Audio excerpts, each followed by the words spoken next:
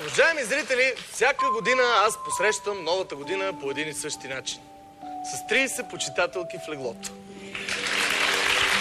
За последните пет нови години съм минал половината Фейсбук. Но, преди да отида в спалнята, реших да изпия едно за отскок с моя приятел Гюро Кюмуро. Добър вечер. Мара бе, ловец.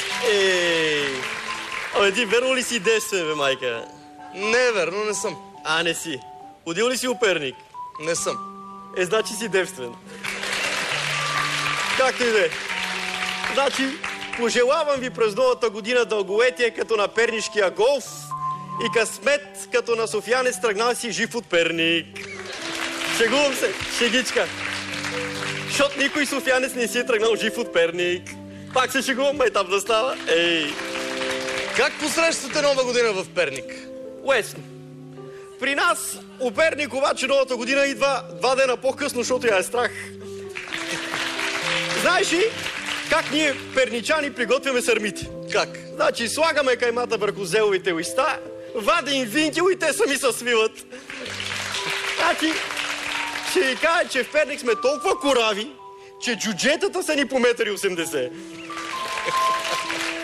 Баница с късмети правите. правим. Значи помня как миналата нова година жена ми вика, Гюро, много съм щастлива, от баницата с късмета ми се педна екскурзия в чужбина. Викам, а не, повече до София няма да одим.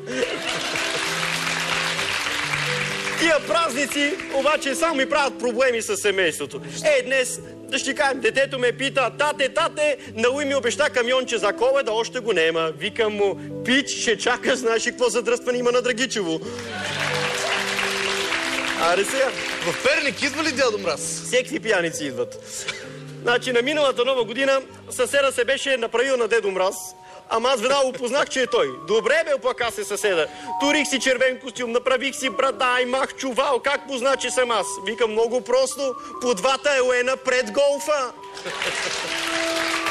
Аре, честита нова години на всички живи, здрави и на здраве!